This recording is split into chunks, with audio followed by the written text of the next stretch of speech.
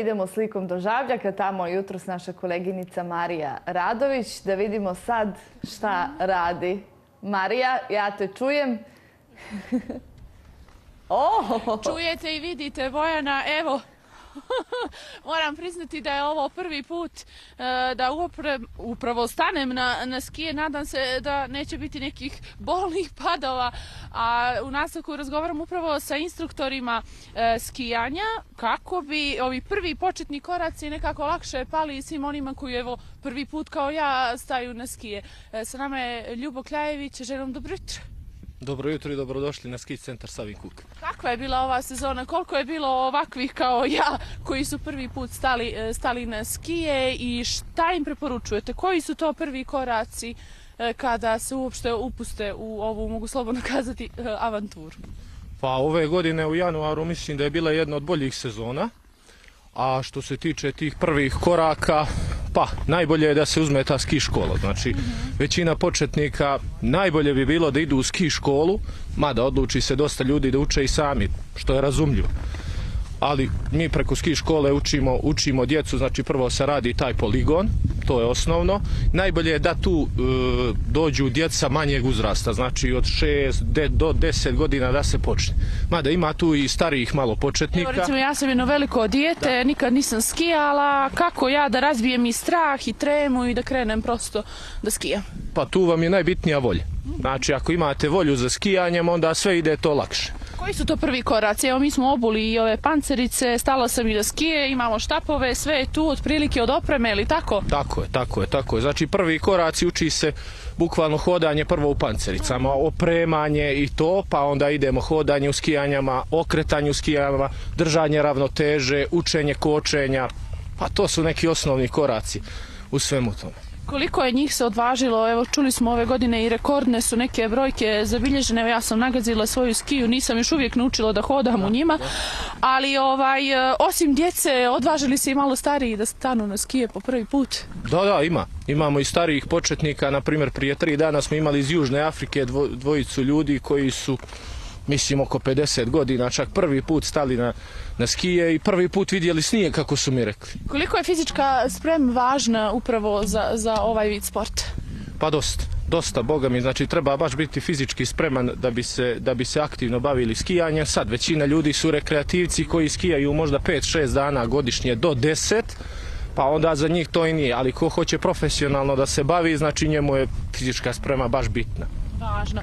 E, Kada je u pitanju ishrana prije skijanja, imate li tu problema da kažu došli punog stomaka pa ne mogu da skijaju? Šta im vi preporučujete ujutru da jedu prije nego dođu kod vas? Pa ne znam, baš nisam imao tih problema i tih pitanja da vam iskreno kažem, eto. A recite mi kako bezbjedno da padnemo, kako da ostanemo bezbjedni na stazi i da ne ugrozimo druge, koji su savjeti? A znači, bezbjedno što kažemo padanje, ajde, neće, ne bi trebali da padamo, ali ako već padamo, najbolje je pasti na stranu, znači da padnemo na stranu. A bezbjedni da ostanemo na stazi, znači bitno je da, kao što sam pomenuo ovaj poligon, da se savladaju tehnike na poligonu. To je tehnika kočenja i tehnika kontrolisanja brzine. Kada savladate to, vi možete na skijalištu da budete bezbjedni. S tim što se ide, e, prvo se ide na plave staze, to su najblaže staze za početnike. Znači na plavim stazama se uči da se skija, pa se kasnije prelazi na crvene i kasnije ko već profesionalno se bavi ide se na crne, na crne staze. To su ekstremno opasne staze. Eto, to je to. Za početak to su neke baby staze ili tako? Pa imaju, Pomoć instruktora preporučuje se. da, da, da, imaju, imaju ovdje i baby staze za, posebno za malu djecu, a ima i ovaj lift e, koji mi zovemo bord staza. Tu su, to je plava staza ovdje na Savinom kuku i na njoj većina učesnika se obuča. Šta bih ja mogla sad prvo da uradim? Evo, sad sam stala prvi put, evo uživo je program. Ajde da budemo kuražni. Dobro.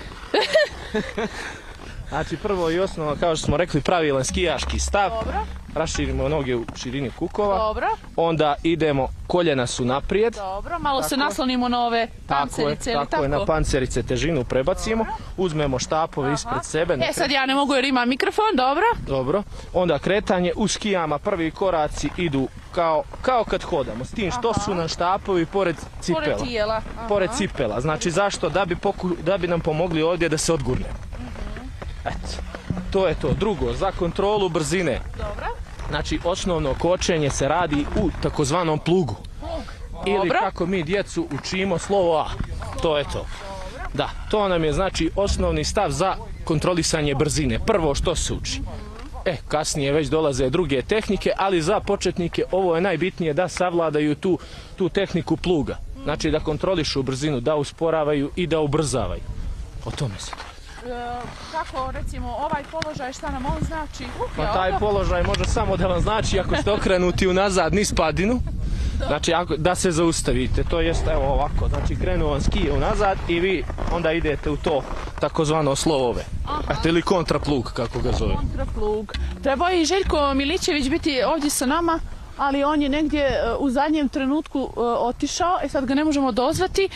I koliko često se dešavaju povrede upravo na ovakvom mjestu, znamo da i postoji služba medicinska Da, koja da, tu pomoć. Ima gorska služba spašavanja koja radi ovdje, pa povrede sve zavisi. Znate, zavisi od snijega, od skijaša, od nepažnje, Koliko su bile česte ove zime? Pa mislim da nisu baš mnogo. Mislim da nisu baš mnogo. Bilo je tu par povreda, ali to je normalno. Koliko se dugo čeka na prvu medicinsku pomoć? E, ne, gorska služba je tu non stop. Znači tu su momci koji patroliraju po cijeli dan. Znači tokom skijanja oni skijaju zajedno sa skijašima i redarima i obraćaju pažnju na skijaše kako skijaju, šta rade, a u slučaju da neko skija nepravilno upozore ga i to je to. To je. Znači upozorili bi me svakako da, da, nešto... da, da, da, da, da, upozore. Hvala vam Ljubo najljepše i nizvanom vremenu i na ovom, da kažem, prvom času.